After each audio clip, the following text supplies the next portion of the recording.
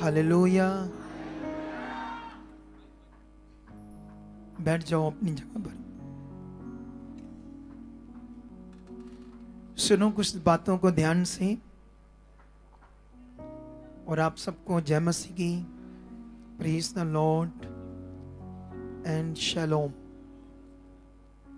और जितने भी ऑनलाइन देख रहे हैं, उन सबको भी मैं परमेश्वर की हाजुरी में स्वागत करता हूँ उन सबका। जो ऑनलाइन भी है और यहाँ भी। सुनो।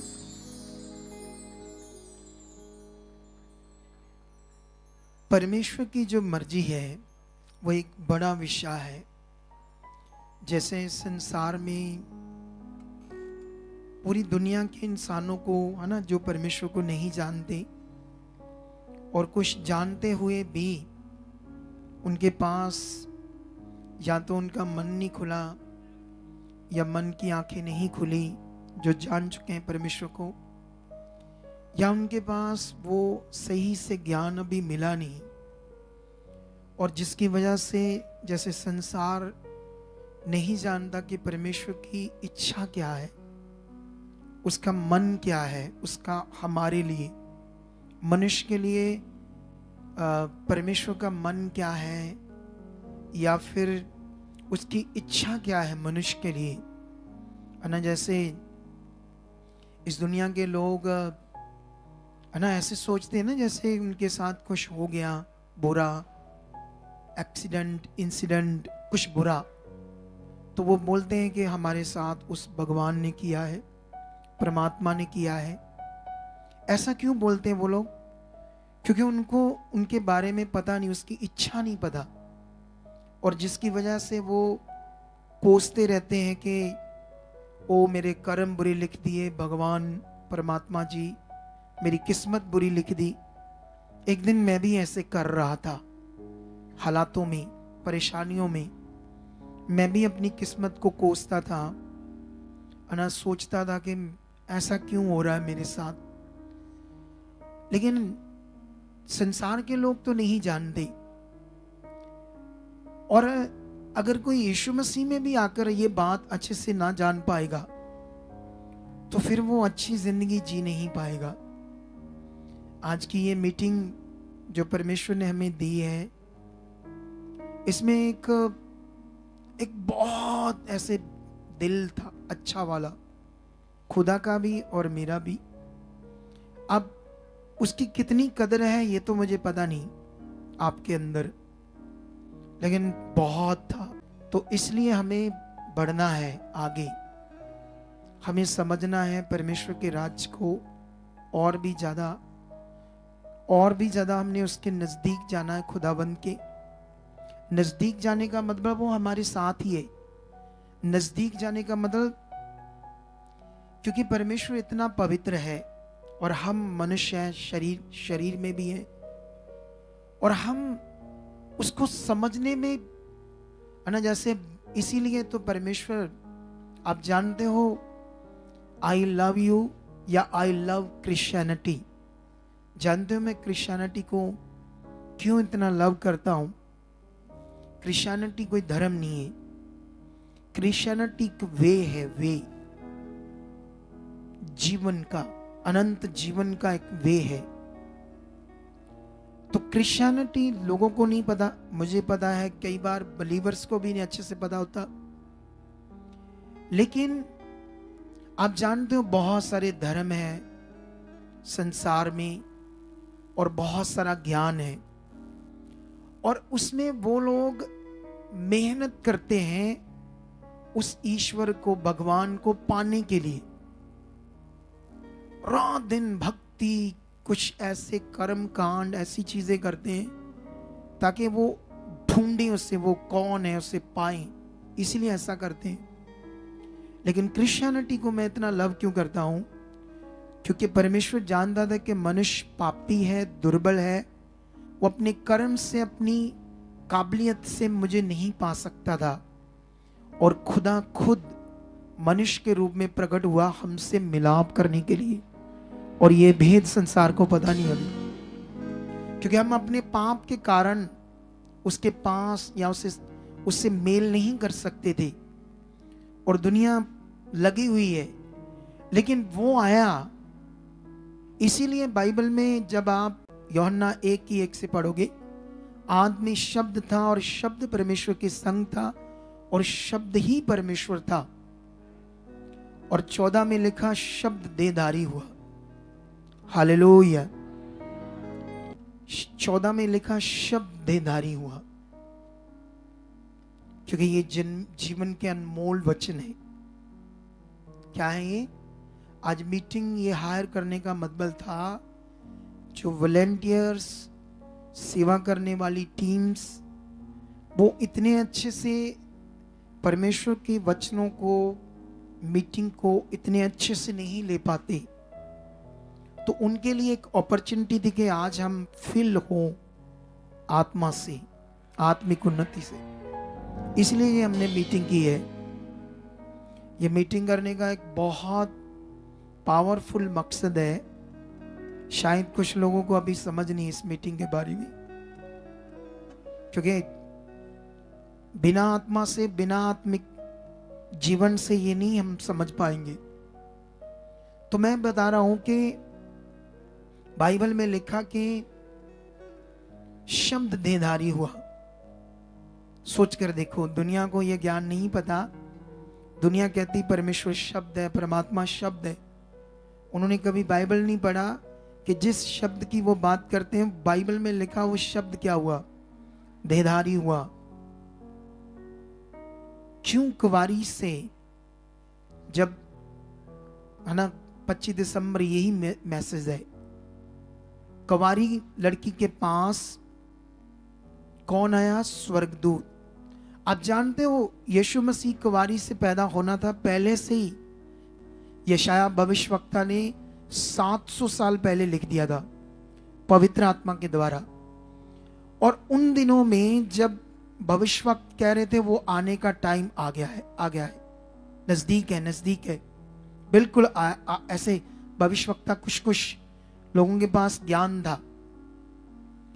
लेकिन उन दिनों में बहुत सारी इसराइलियों में कुवारियाँ, लड़कियाँ, कुवारी थी कुवारी, ये सोचकर कि खुदा मेरे जीवन से उस मसीहा को पैदा करे, मेरे जीवन से पैदा करे।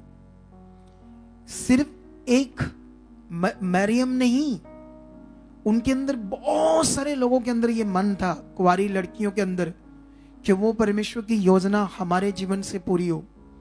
लेकिन उन सबसे बढ़कर मन किसका था? मैरी का। सबसे बढ़कर। और इसीलिए उसके पास स्वर्गदूत आया। और जब उस, उसके पास आया तो उसने अपने शब्दों से, वचनों से बात की कि, हे मैरी, आनंद और जय तेरी हो। और उसने ये जो आनंद और जय उसको कहा ये वचन सिर्फ़ उसके लिए नहीं था, हमारे लिए भी है। परमेश्वर हमें भी वो आनंद, जय मतलब जीत देना चाहता है। लेकिन किन को? जिन्हें वर्ड ऑफ़ गॉड की समझ होगी, परमेश्वर के मन की समझ होगी। अगर आप लोग वॉलेंटियर हो, सेवा करते हो तो ये एक क्रेडिट है। एक आपका खास पॉइंट है आपकी ज़िंदगी में। क्योंकि आपने अपने बिलीवरपन से या बलीवर जीवन से बढ़कर कुछ परमेश्वर को उसके राज के लिए, करने के लिए ध्यान दिया है। और आप लोगों ने इस पॉइंट को समझना और कि अगर मैंने ये सेवा कर रहा हूँ, इस सेवा का महत्व क्या है? ये नॉर्मल नहीं है। खुदा आपको देख रहा है। तो मैं ये बताना चाहता हूँ आपको, उस समय जब परमेश्वर की दृष्टि मैरी पर आई बहुत सारी कुआरियाँ थी, जैसे आज भी बड़े लोग परमेश्वर की सेवा बिना शादी, बिना मैरिज किए कर रहे हैं ना? लड़कियाँ भी, लड़के भी कर रहे हैं या नहीं कर रहे? कितने हज़ारों लाखों आपको मिल जाएँगी। तो उस समय भी ऐसा था, लेकिन उनसे बढ़कर मन किसका था? मरियम का। और जब मरियम के पास स्वर्गदूत आया तो उसने कहा, मैं प्रभु की दासी हूँ मेरे साथ कुछ धोखा ना हो जाए। उसने कहा, मैं जिब्राइल हूँ। खुदा के सामने, परमेश्वर के सामने खड़ा रहता हूँ और परमेश्वर की ओर से मैं आया हूँ।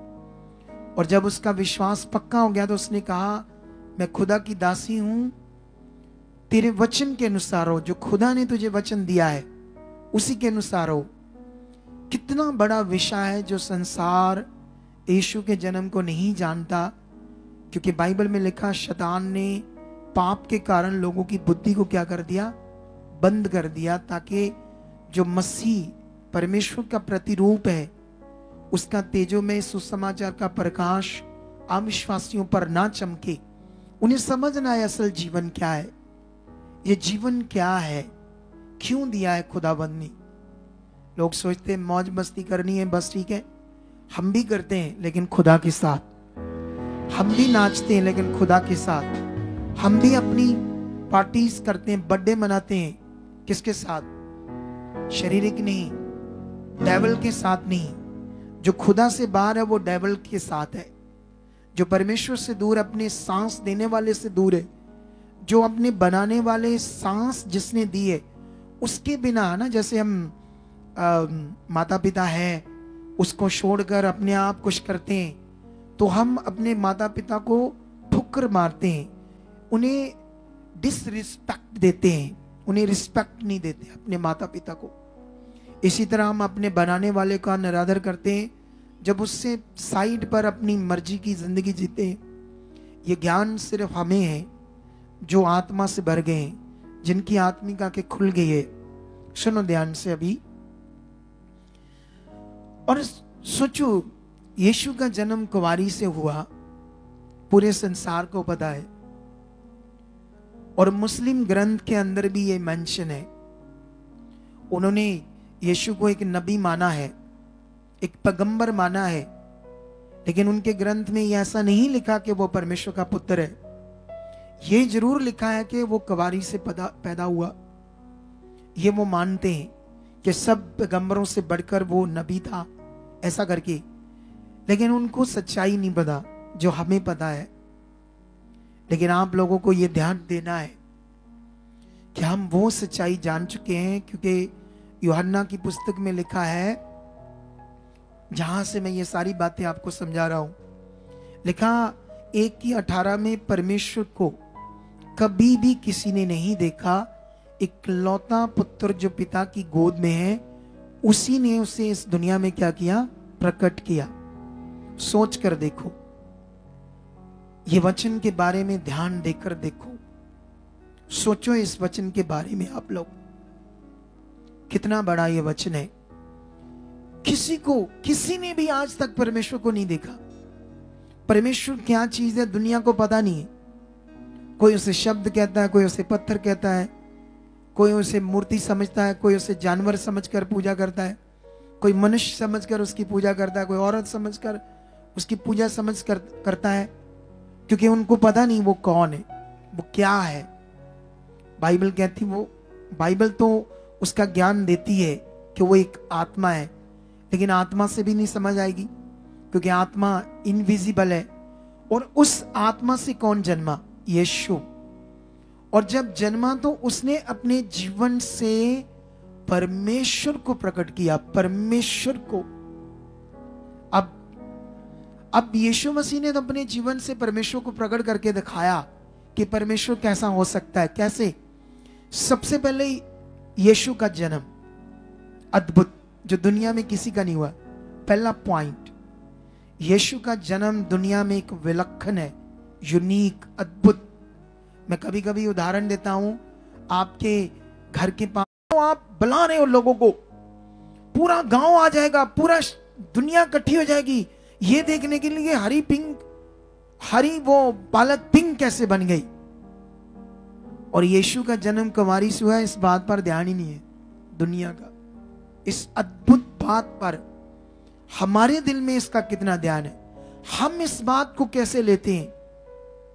ये तो हमें समझ होनी चाहिए। हालेलुया। पहला पॉइंट यीशु का जन्म, अद्भुत। दूसरा पॉइंट यीशु मसीह का स्वभाव।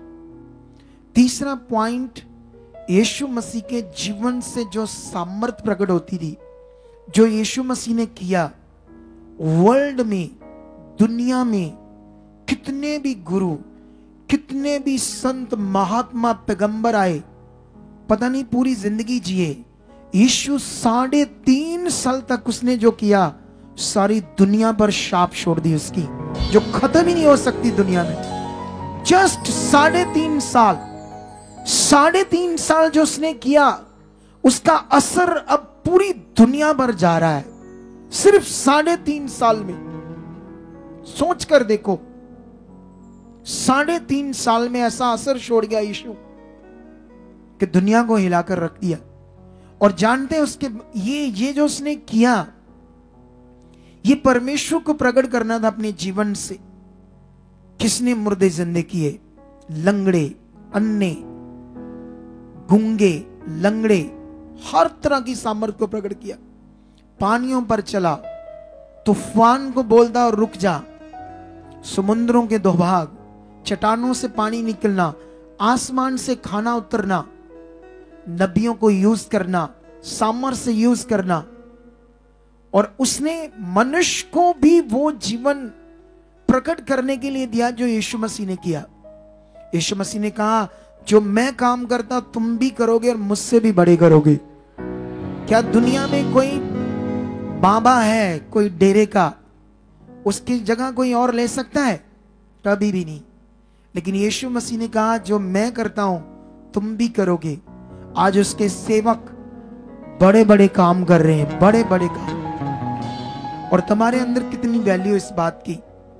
अगर तुम इस मिनिस्ट्री में वॉलेंटियर या किसी प्रकार की सेवा करते हो, उसका महत्व क्या है तुम्हारे जीवन में? तुम किस सोच से कर रहे हो सेवा? तुम्हारे सेवा करने का मीनिंग क्या है? अगर तुम इसे अच्छे से समझ नहीं पाए तो फिर वो नॉर्मल हो जाएगा। हमारे मीटिंग करने का बड़ा खास मकसद था आज। दुष्ट ने चाहा कुछ लोगों से उनके उनके मुँह से, उनके दिल से, शरीर में होंगे शायद। समझ नहीं आई उन्हें क्या करना है। दुष्ट चाहता था कि ये मीटिंग का महत्व आज प्रकट ना हो। अच्छा हुआ मैंने 20-25 मिनट प्रेयर कर ली और उससे सारा कुछ खुदा ने मुझे वापस दे दिया। लेकिन अभी ध्यान दो आप इस बात पर। जो असर यीशु मसीह ने छोड़ा है दुनिया के ऊपर क्या कोई छोड़ पाया ये असर? सोच कर देखो। तो मैं आपको बताना चाहता हूँ, यीशु मसीह के मुँह से जो ज्ञान आया, आज भी पड़ोस दुनिया में आज तक ऐसा को ज्ञान नहीं दे सकता, जो यीशु मसीह ने अपने मुँह से 2000 तेईस साल पहले जो ज्ञान दिया, आज भी वो ताज़ा जब भी पढ़ो। उनके मीनिंग उनके भेद, उसके प्रकाशन उनमें कुछ नई बातें, तगड़ी बातें तो इसलिए इन बातों को हमने ध्यान देना है, इसे हमने पकड़ना है, समझना है। हालेलुया। अगर तुम सेवा करते हो तो उसे फिर एक नई दिशा दो। उसे नॉर्मली ना लो। लेकिन बाइबल के मुताबिक एक ही जन्म है। एक ही बार मनुष्य को जन्म मिला है और एक ही बार उसका न्याय है। आप जानते हो, स्वर्ग में जाना कितना कीमती है, तुम सोच नहीं सकते।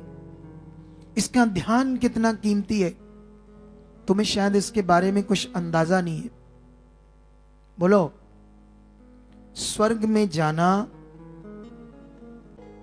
यीशु मसीह ने भी स्वर्ग जाने के लिए अलर्ट किया था, स्वर्ग की तैयारी के लिए। उसने एक दृष्टांत दिया था, दस कुआरियों का। यीशु मसीह ने और भी बड़े दृष्टांत दिए स्वर्ग के ऊपर, स्वर्ग जाने में। जब तुम बाइबल पढ़ोगे, एक राजे ने भोज दिया। वहाँ पर भी उसने, यीशु मसीह ने हमारे प्रभु ने एक दृष्टांत दिया, स्वर्ग जाने में। दस कुआरियों का जब तो यीशु मसीह ने कहा, पाँच बुद्धिमान और पाँच क्या थी? मूर्ख। कैसे कहा था? पाँच बुद्धिमान और पाँच क्या थी? मूर्ख। वहाँ मिशाइल्स की बात हुई और बाइबल में लिखा, लाड़ा आने वाला था और उन्होंने मिशालें ली और जो पाँच बुद्धिमान थी उन्होंने मिसालें तो जलाई, लेकिन एक्स्ट्रा तेल लिया और मूर्खों ने नहीं लिया। ये एक दृष्टांत है ध्यान का। और रात हो गई, आदि मशालें बुझ गई। और जब आधी रात शोर हुआ, लाड़ा आ गया, लाड़ा आ गया ना तो उसके बाद जो पाँच थी उन्होंने, उनके पास एक्स्ट्रा तेल था। एक्स्ट्रा तेल का मतलब क्या था? उन्होंने वो फोकस बनाया था, वो मन बनाया था जो दूसरी पाँच के पास नहीं था। एक्स्ट्रा तेल का मीनिंग क्या था? मिसाल का मतलब क्या था? ये एक दृष्टांत है। बहुत सारे बिलीवर हैं, कुछ वचन को नॉर्मली लेते हैं, कुछ परमेश्वर के आदर को नॉर्मली लेते हैं। क्या लेते हैं? आपको पता है ही नहीं पता? कुछ लोग क्या करते हैं? परमेश्वर के आदर को नॉर्मली लेते हैं। कुछ लोग वचन को नॉर्मली लेते हैं। आपको समझ आया या नहीं आया? लेकिन कुछ लोग इसे बहुत ध्यान देते हैं। कुछ लोग इसको इतना आदर देते हैं, इतना मन देते हैं, आप सोच भी नहीं सकते। ये बात ध्यान दो। लेकिन वो वो दृष्टांत यही हमें समझा रहा था, उनके पाँच का मन कितना ध्यान पूर्वक था। दरवाज़ा खुला, वो अंदर गई। जब तक पाँच वापस आई, तेल लेकर खरीद कर दरवाज़ा बंद हो गया था। मतबल, उनके लिए स्वर्ग का रास्ता बंद हो गया, क्योंकि उन्होंने ध्यान नहीं दिया। क्या नहीं दिया उन्होंने? उन्होंने ध्यान नहीं दिया। हालेलुया। कितने लोगों को यह बात समझ आ रही है? समझ आ रही कि नहीं आ रही? जब राजे की भोज की बात होती है तो वहाँ पर भी जो बाइबल में लिखा, बुलाए हुए थे, जिनको परमेश्वर ने बुलाया था नमंत्रण किया था राजे ने स्पेशल जो उस शादी के लिए, ब्याह के लिए इनविटेशन था जिनका, लेकिन वो लोग आए नहीं। आए नहीं मतलब उनको उस शादी का, उस इनविटेशन का मीनिंग अच्छे से दिमाग में बैठा नहीं था। इसलिए उन्होंने उस बात पर ध्यान नहीं दिया। और जब सिपाहियों को भेजा गया, कोई कहता, ये काम है, कोई कहता, वो काम है कोई कहता, मैं खेत में जाने वाला हूँ, मैं नए बल्द लिए, मेरा वो काम है, मेरे कटनी का वो है, ऐसे करके ना, जैसे दुनिया का दिमाग होता है। लेकिन उसके बाद उसने कहा, जाओ बाजारों में, चौकों में, जो लोग तुम्हें मिले खड़े, सब ले आओ। ये मतबल था अन्य जातियों के लिए, सबके लिए। बुलाए हुए कौन थे? इसराइली बाकी लोग कौन थे? अन्य जाति कोई भी। लेकिन उसके बाद बाइबल ये कहती है जब सारा घर भर गया तो एक राजा जब आया तो उसने एक एक आदमी को देखा, उसके ऊपर वस्त्र नहीं थे, शादी वाले। उसने कहा, तुम तुम पर वस्त्र क्यों नहीं है? वस्त्र का मतलब फिर बताओ क्या है? उसके पास वो मन नहीं था, वो ध्यान नहीं था। उसके पास वो नॉर्मल था सब कुछ। आप जब परमेश्वर के पास आते हो, पुराने नियम में लिखा था जब तुम परमेश्वर के घर में आओ, कांपते और डरते हुए आओ, तुम्हारे दिल में होना चाहिए, तुम किसके पास आए हो? तुम्हारा मन किसके साथ है? हालेलुया। कितने लोगों को यह बात समझ आ रही है? समझ आ रही है नहीं आ रही? तो इसीलिए आज ये बहुत मेन है जो बाइबल के अंदर यीशु मसीह ने सिखाया हमें, स्वर्ग जाना। कुछ लोगों को नॉर्मल लगता है, आम लगता है। उस पर वो फोकस नहीं, वो ध्यान नहीं है। ना कई लोग, हो सकता है बलीवर्स हो सकता है वॉलेंटियर दिमाग व्यभिचार का हो। हो सकता है लड़कियाँ लड़के भी, कुवारे भी करते हैं सेवा, हो सकता है किसी लड़के को देकर दिमाग व्यभिचार में हो। डर नहीं है, ध्यान नहीं है। क्या वह बिचारी जा सकता है स्वर्ग में? है? शादी तो होनी है। खुदा बेस्ट करके देगा। तुम्हारे लिए वो इंतज़ाम करेगा जो तुमने सोचा नहीं होगा। ऐसा है खुदाबंद सच्ची। ये मैंने अपने जीवन से अनुभव किया है खुदा के ग्रेस को, उसकी दया को, अनुग्रह को। कि वो कितना महान है। इधर ध्यान दो सब लोग। सब लोग ध्यान दो, आज तुम्हें सुनने का टाइम है। खास करके वॉलेंटियर को। मैंने अपनी ज़िंदगी में ना जब से मैं चुना गया, कभी भी परमेश्वर के वर्ड को या परमेश्वर की आज्ञा को कभी पीछे नहीं किया। सबसे पहला दर्जा उसको दिया। मुझे याद है जब मैं जिस पास्टर के पास जाता था, उन दिनों में शुरू शुरू में मुझे समझ आ गई कि मैं अमीर होना चाहता था। तब रिच बनना चाहता था जब मैंने ठोकर खाई थी रिश्तेदारों से। बहुत स्ट्रगल किया लेकिन कुछ नहीं आया। ना पैसा, ना चीज़ें। लेकिन याद रखना, जब मैं यीशु में आया, परमेश्वर में आया, मुझे बीस के बारे में समझ आई, दशमांश के बारे में। जिस दिन से सुना ना मैंने, उस दिन से इस नियम को पकड़ लिया। उस दिन से खराई से बोना शुरू किया और सिर्फ़ दस परसेंट नहीं, चर्च में कोई भी काम हो, किसी भी प्रकार का, सबसे पहले मैं आगे होता था। लंगर लगाना है, सिलेंडर नहीं है, दरिया नहीं है, और उसकी वजह से मैं दो तीन सालों में ही मेरी ठेकेदारी इतनी बढ़ गई कि मैंने एक ब्रांड न्यू सेंट्रो कार निकाली थी 2006 में। उन दिनों में कार लेनी बड़ी बात थी 2006 में। चंद बहुत कम होती थी लोगों के पास। 2006 में मैंने ब्रांड न्यू सेंट्रो गाड़ी निकाली और मेरे पास थी। मैं ठेकेदार था। जब मैं पास्टर मुझे कहते हैं आपकी सेवा लगानी है। हमने इधर उधर जाना हो, होता है तुम गाड़ी लेकर आया करो। मैं कह हाजिर। जब आप बोलोगे। अच्छा मैं काम पर हूँ। मैं इंजीनियर आने वाला है। मुझे 12 बजे कॉल आ रही है। अभी मैं काम सेट ही कर रहा हूँ। पास्टर की, जल्दी आ जाओ। वो एकदम से कर देते ऐसा नहीं, एक दिन पहले बताते थे। अच्छा मैं उनको कहना मुझे एक घंटा दे दो, बस एक घंटा दे दो। मैं आया। मैं बीच में फटाफट काम कुम सेट करके बाइक लेकर बाइक पर जाता था, ठेकेदारी करने। घर जाता था, गाड़ी निकालता था। चलो पास्टर के साथ। कभी भी मुझे पास्टर ने कहा हो और मैंने उन्हें ना की हो, हुआ ही नहीं कभी। मेरे लिए पास्टर का कहना ऐसे था जैसे खुदा का कहना है। खुदा का कहना है। ऐसे में उसको लेता था ऐसे।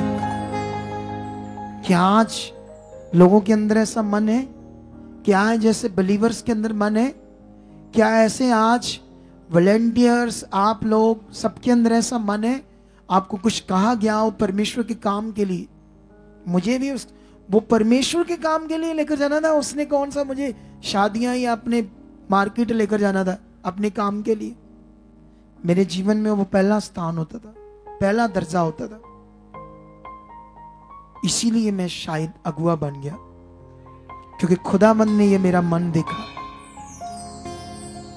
खुदाबंद ने ये देखा, इसीलिए उसने मुझे एक ऐसा अगुआ बना दिया।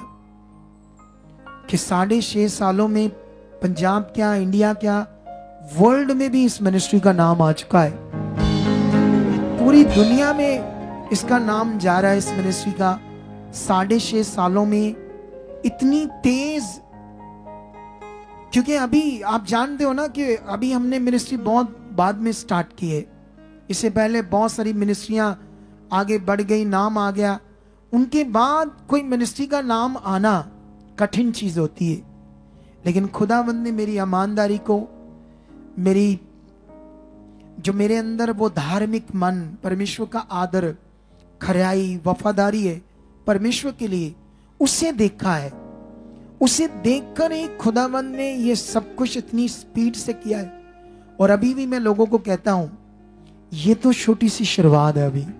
ऐसे बोलता हूँ, क्योंकि जो मैं दर्शन देख रहा हूँ परमेश्वर से जो मैं अनुभव कर रहा हूँ आत्मा से, जो बातों को मैं अनुभव कर रहा हूँ, आप सोच ही नहीं सकते, सोच ही नहीं सकते। समझते हो ना, समझते हो? तुम लोगों की गलती से दो कुड़ी ठोकर खाकर चलेगी तुम्हें काम करना नहीं ना आया, कैसे करना था? ध्यान देना पड़ेगा, क्योंकि उन्हें नेगेटिविटी इस्तेमाल करी थी मेरे सामने। इधर ध्यान दो आप लोग सारी। ये बड़ा ध्यान होता है। ये आत्मिक बुद्धि किसने मेरी खोली है? परमेश्वर ने, परमेश्वर। और सबके लिए अवेलेबल है। आप जानते हो, आप जानते हो शरीर की ज़िंदगी और आत्मिक ज़िंदगी में कितना अंतर है? शरीर की ज़िंदगी में आपको, मान लो आपने कोई टीम से चीज़ मांगी। बोलो, उन्होंने दी नहीं। उससे छोटी सी बात से ठोकर खा करना या मन खराब करके, हम नहीं करेंगे सेवा, हम नहीं करेंगे, आएँगे। सोच कर देखो चेलों के बारे में, जिन्हें उबलते हुए तेल में तल दिया गया था, आरों से चीर दिया गया था, और बैंतों से मार मार उनकी चमड़ी उड़ेड़ दी गई थी, कि यीशु के लिए तुम यीशु का जो प्रचार कर रहे हो, बंद करो। उन्होंने हँसते हँसते बाइबल में पढ़कर देखो आरों से चीरे गए पुट्ठी सलीबे उन्हें दी गई, तकलीफ़ से मर गए, लेकिन परमेश्वर की इच्छा को नहीं छोड़ा। हम क्या बिलीवर है कि छोटी सी चीज़ से मन खराब करके ओ गए गए साइड पर? क्या दिल है? क्या मन है हमारे पास? छोटी छोटी बातों से छोटी छोटी बातों से हम ऐसा करते हैं। तो कैसे परमेश्वर को हम खुश कर सकते हैं? हम तो मनुष्य को भी नहीं खुश कर सकते। तो सर्वशक्तिमान को कैसे कर सकते हैं? तो ये विषय हमें समझना पड़ेगा। क्योंकि मैं आपको बताना चाहता हूँ कि आपने जो भी यहाँ सेवा करते हो, ये तुम अपनी ओर से नहीं कर सकते थे। ये परमेश्वर ने एक वचन पढ़ाता हूँ मैं आपको। इस वचन से आपको एक बड़ा पॉइंट मिलेगा आज। ये हमें मिलेगा फिलिपियों दो का तेरा क्या लिखा यहाँ पर? क्योंकि परमेश्वर ही है जिसने अपनी स्वेच्छा नमित तुम्हारे मन में इच्छा और काम दोनों बातों के करने का प्रभाव डाला है। हालेलुया। बाइबल में लिखा, क्योंकि परमेश्वर ही है जिसने अपनी स्वेच्छा नमित तुम्हारे मन में, उसने तुम्हारे मन में इच्छा और काम मतलब सेवा, जो तुम सेवा कर रहे हो किसी भी प्रकार की। ये परमेश्वर ने तुम्हारे मन में डाला तो ये कर पाए हो जो उसकी ओर से हुआ। लेकिन अगर हुआ है उसकी ओर से, इसका आदर, इसका दर्जा, हालेलुया। बोलो, किसने देना है अब? ध्यान किसने देना है? बाइबल में ऐसे क्यों लिखा कि तुमने मुझे नहीं चुना, मैंने तुम्हें चुना है?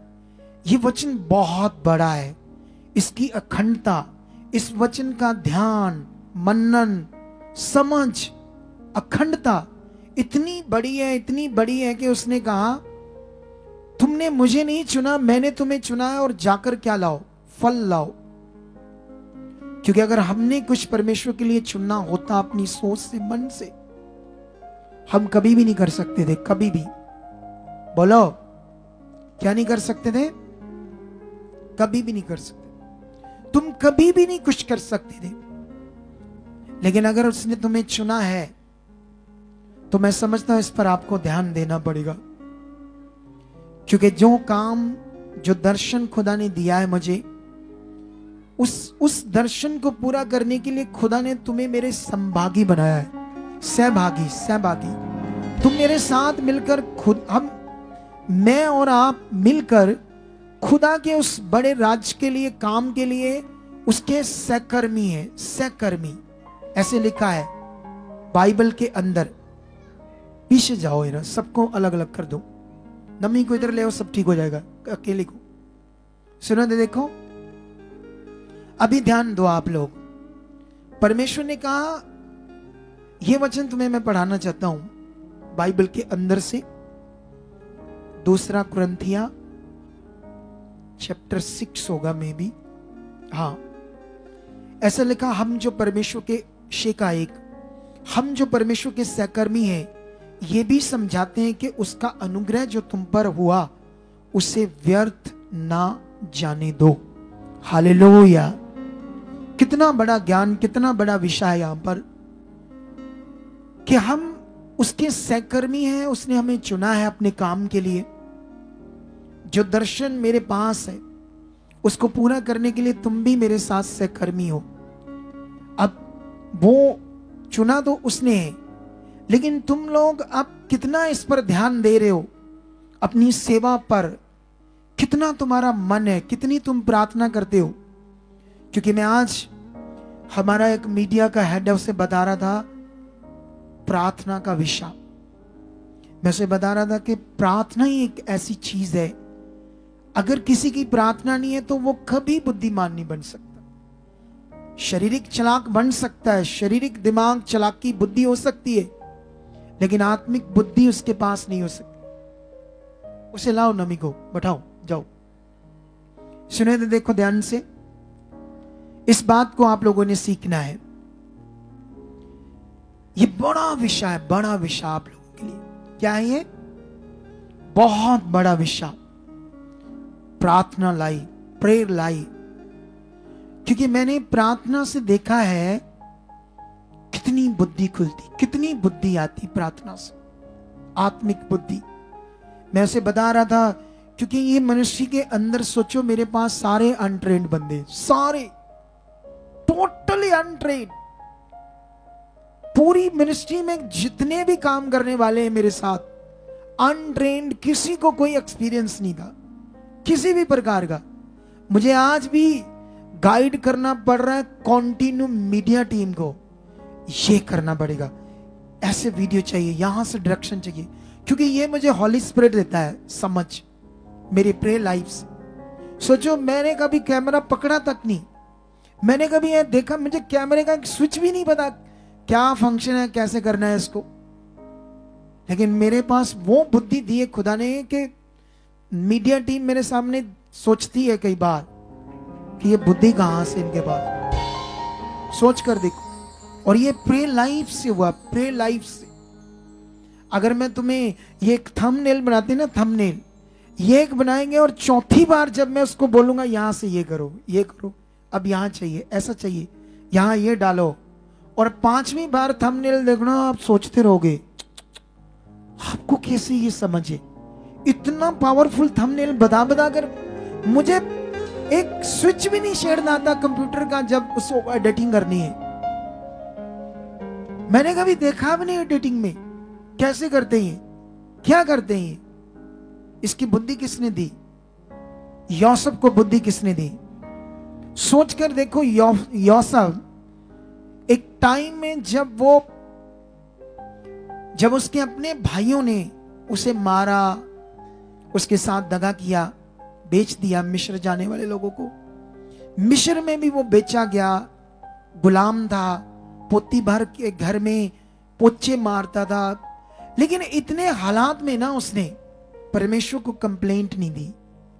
अगर तुम लोगों ने किसी ने छोटी सी बाँस से ठुक्कर मारी है सेवा को तो तुमने मुझे या टीम को नहीं, खुदा को मारी। खुदा का नरादर किया है। आप पई तरी सेवा हाडे तो नहीं होंगी। बोलो, कितना तुम शरीर में चले जाते हो बड़ी जल्दी। लेकिन इतने हालात में, इतने दुख में भी, पीड़ा में भी, यौसफ ने कभी कंप्लेंट नहीं की परमेश्वर को। बस धन्यवाद किया। हालात में भी धन्यवाद किया। ये मन देखकर खुदा उसके साथ खड़ा था। हालेलुया। कितने लोगों को यह बात समझ आ रही है आज? तुम्हारी सेवा, तुम्हारा मन, तुम्हारा आना, तुम्हारा बोना खुदा देख रहा है। यह बात याद रखो। बाइबल में और खुदा के मन के अनुसार, वचन के अनुसार तुम्हारा छोटा सा भी सेवा, छोटा सा भी किया हुआ काम, उसका अजर है, उसका फल है। कहानी नहीं है मेरा अनुभव है। मैंने जो कुछ खुदा के लिए किया उन सब चीज़ों का मैंने फल काटा है। काट तो हम भी रहे लेकिन कुछ लोगों को इतना ध्यान नहीं उसकी वैल्यू नहीं है कितना फल काट रहे हो। क्या क्या खुदा ने किया? क्या इज़्ज़त दी, शांति दी, बरकत दी? कई लोगों को उसको समझ नहीं है इतनी इतनी समझ नहीं है। शायद उनके पास कर तो रहा है खुदा, लेकिन आत्मिक बुद्धि ध्यान ना देने वजह से नॉर्मल हो जाते हैं। लेकिन ये बात याद रखो यौसफ जब इतने तगड़े मन से बना रहा, हालात में भी, जानते हो फिर शदान ने, शतान देख रहा था, क्योंकि अभी छोटी छोटी चीज़ों में जब तुम्हारा मन खराब होता है, कौन करता है? बोलो, अभी दुष्ट मेरा करना चाहता था, लेकिन मैं तो प्रेम में चला गया, मैं जानता था अभी परमेश्वर के पास जाऊँगा तो सब ठीक हो जाएगा। मैं गया और सारी चीज़ को मैंने ठीक कर लिया। लेकिन बहुत सारे लोग नहीं जा पाते प्रेम में, नहीं जा पाते उस विषय के लिए। फंस जाते हैं। बोलो, जब शतान यीशु मसीह के एक चेले को पकड़कर उससे यीशु को बिकवा सकता है, यीशु के साथ रहता था वो, यहूदा श्रोती तो फिर हम क्या है? हम तो यीशु के साथ भी नहीं है। है ना, जैसे साथ साथ फ़िज़िकल फॉर्म में यीशु उनके साथ था। लेकिन हम तो अदृश्य फॉर्म में उसे साथ मानते ना लेकिन ये ध्यान दो, उसको शैतान ऐसे कर सकते हैं तो हम रोज रोज छोटी छोटी बातों में जो मन खराब करेंगे, हमारे साथ क्या करेगा वो? सोचो। हालेलुया। कितने लोगों को ये बात समझ आ रही है आज? इस मीटिंग को करने का बड़ा मकसद था मेरा। तुम्हें खाना, तुम्हें बढ़ाना आत्मा में, तुम्हारे ध्यान को बढ़ाना तुम्हें वो वर्ड देना जिसके लिए, जो तुम चुनेगे जिस सेवा के लिए, जो दर्शन खुदाबंद ने मुझे दिया है, उसके तुम हिस्सेदार हो, सहकर्मी हो, ताकि हम दुनिया में करोड़ों रूहें बचा सके। हालेलुया। और तुम्हें अब से ये प्रे करनी है, अपने लिए, अपनी सेवा के लिए। क्योंकि याद रखना, मैं इसे बता रहा था उन्हें मैं बता रहा था कि तुम्हें प्रार्थना करनी कितनी ज़रूरी है। क्योंकि तुम बिना प्रे से, तुम अगर प्रे करने शुरू शुरू कर दोगे ना इस विषय के लिए, जो तुम्हारा फ़ील्ड जो तुम सिर्फ़ इस चर्च के अंदर तुम्हारा सिर्फ़ काम है मीडिया का, या जिस, जिसका भी अलग अलग डिपार्टमेंट है। मैंने कहा, अगर तुम प्रेयर करो, जाओ खुदा के सामने। तुमसे खुदा वो करवा सकता है कि दुनिया में जो पता नहीं दो करोड़ या दस करोड़ के कैमरे से कर रहा है, इतने महँगे कैमरे भी आ चुके हैं वीडियो, दस करोड़ तक के, ठीक है? हमारे पास तो डेढ़ लाख का है सिर्फ़ कैमरा, इतने भी महँगे आ चुके हैं। और उनको चलाने वाले के जो मास्टर होते हैं ना, जो जिन्हें बोलते हैं video producer director sorry director producer नहीं वीडियो डायरेक्टर कितना एजुकेटेड होगा, कितना उसको पता होगा। जो बड़ी बड़ी फ़िल्में बनाते ना बॉलीवुड हॉलीवुड पता नहीं उनकी पता नहीं महीने की इनकम करोड़ रुपया ना हो, ऐसे लोग होते हैं। वो भी परमेश्वर फेल कर सकता है, वो भी।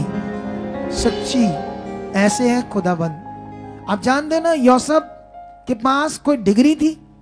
उसने कुछ स्टडी की थी कि सारे ज्योतिषी, सारे ज्ञानवान भविष्यवक्ता समझा नहीं पाए उसके राजे को जो स्वप्न आया था। कोई दुनिया पृथ्वी में आंसर देने वाला नहीं था। उसका आंसर किसने दिया? योसफ ने। और जब आंसर दिया, वो बुद्धि, वो समझ कहाँ से आई? बस खुदा से वो खरा रहा और वफादार रहा। हालेलुया। वही ज़रूरत है। दुष्ट कई बार कोशिश करेगा आपको नॉर्मल करने के लिए परमेश्वर के साथ कि तुम नॉर्मल हो जाओ। तुम्हें काम है, तुम्हें ये है ना? बोने के लिए नॉर्मल कर सकता है तुम्हें। लेकिन जो दशमाश है ना, दशमाश, ये तुम्हारा नहीं, ये तो उसका है। ये तुमने दस परसेंट निकाल कर बोया ना, तुमने कुछ भी नहीं किया, वो तो उसका है। बाइबल ये कहती है, उसका है। तुमने क्या किया? तुमने इस नियम को सोचकर देखो। उस जमाने में, पुराने नियम में लोगों के अंदर वर्ड की जो नॉलेज वैल्यू थी, वचनों की वो बड़ी थी। लेकिन आज भी हमारे अंदर होनी चाहिए।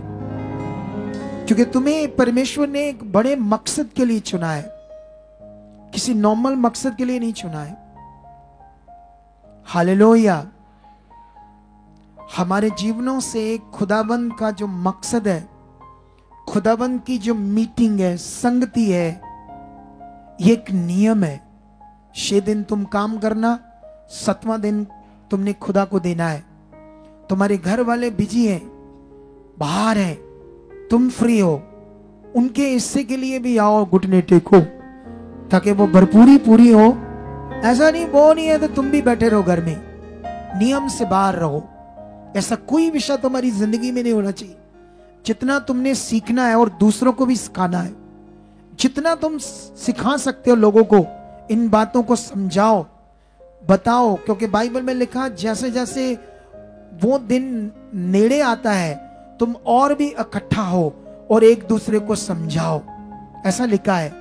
लेकिन ये बात को आपने पकड़ना है और सीखना है, तुम लोगों ने ये बात को सीखना है। कि तुम्हारे सामने कोई भी आगे पीछे हो, उसे हमेशा परमेश्वर के साथ जोड़ो अगुए के साथ, मनिस्ट्री के साथ खड़े होने का ज्ञान दो। हमेशा हमेशा ये मन रखो। तुम्हारे घर बरकतों से अपने आप भर जाएँगे। ऐसा है खुदा, ऐसा है वो सर्वशक्तिमान। तुम्हें अपने विश्वास को भी सेट करना है। तुमने अपनी प्रार्थना को भी सेट करना है। तुम्हारे जीवन में प्रे लाइफ होनी बड़ी ज़रूरी है। तुम वॉलेंटियर हो, तुम्हारी कम से कम दो घंटे प्रार्थना होनी चाहिए। अगर तुम्हारे पास एक टाइम में दो घंटे का टाइम नहीं है, सुबह एक घंटा करो, शाम को एक घंटा करो। अगर तुम्हें लगता है सुबह काम जाना आधा घंटा करो, बीच में दोपहर को निकालो टाइम शाम को एक घंटा लगाओ। नहीं लगता दोपहर को तो सुबह लगाओ आधा घंटा, शाम को लगाओ डेढ़ घंटा, होता है टाइम लेकिन कम से कम दो घंटे प्रेर चाहिए। ये तुम्हारी आत्मिक उन्नति है। तुम्हें सेवा करने के लिए प्रार्थना चाहिए। तुम्हें परमेश्वर की इच्छा पूरी करने के लिए तुम्हारी प्रेयर लाइफ चाहिए। मैंने एक पैम्फलेट बनाए थे आत्मा से भरने के लिए। उसको मैंने कहा था इकतालीस दिन करना, लेकिन उसको आगे भी करना अभी। उसमें इतना वो दर्शन की चीज़ है। आई डोंट नो कितनों के पास वो पैम्फलेट है और कौन लोग उसे ध्यान देकर कर रहे मुझे पता नहीं। कितने लोग कर रहे हैं बताओ? सब लोग कर रहे हो। उसको विश्वास से करो, विश्वास के साथ। क्योंकि वो खुदा ने मुझे बताया वो आत्मिक चीज़ खुदा ने आपके लिए दी है। जितने भी इस मिनिस्ट्री के साथ जुड़े हैं ऑनलाइन कहीं भी, आओ, मंगवाओ, उस पैम्पलेट को, वो आत्मा की प्रैक्टिस है, आत्मा का प्रैक्टिकल है। क्योंकि बिना आत्मा से हम शरीर में जो आत्मा की चलाई नहीं चल रहा, वो अपनी बुद्धि, अपनी समझ से चल रहा है। और हमारी बुद्धि समझ शारीरिक है, वो हमें आगे पीछे कर देगी। तो इस बात पर आप लोगों को क्या देना है? ध्यान देना है। आई होप मैं विश्वास करता हूँ इन बातों को तुम पकड़ चुके हो। मैं विश्वास करता हूँ इन बातों की तुम्हें समझ आ चुकी है। मैं विश्वास करता हूँ कि तुम, क्योंकि जो मैंने सिखाया जब मैं सिखाता हूँ वो तभी तुम्हारी ज़िंदगी में ठहरा रहेगा जब तुम्हारी प्रे लाइफ होगी। प्रे लाइफ के द्वारा ही तुम उस पर मनन कर सकते हो। प्रे लाइफ के द्वारा ही तुम उससे पूरा कर सकते हो। अगर तुम्हारी प्रे लाइफ नहीं है तो तुम रोज खुदा के वचनों को तोड़ोगे। उसकी आज्ञाओं से आगे पीछे रहोगे। फिर कुछ ना कुछ आगे पीछे आगे पीछे आगे पीछे चलता रहेगा चलता रहेगा चलता रहेगा। अगर तुम्हारी प्रे लाइफ ही नहीं है तो उसका सोल्यूशन है, अंगीकार करो। डेली खुद चलते फिरते, परमेश्वर, मैं प्रार्थना में बढ़ चुका हूँ। मैं तेरे साथ रिश्ते में बढ़ चुका हूँ। आप परमेश्वर होली स्पिरिट मुझे तैयार कर चुके हो। प्रे लाइफ के लिए, तेरी इच्छा के लिए आप अंगीकार कर रहे हो। इसे प्रैक्टिकल कर रहे हो। तो तुम हंड्रेड परसेंट कर पाओगे। हालेलुया कितने लोगों को यह बात समझ आ रही है आज? तुम्हें इस बात का ध्यान देना है।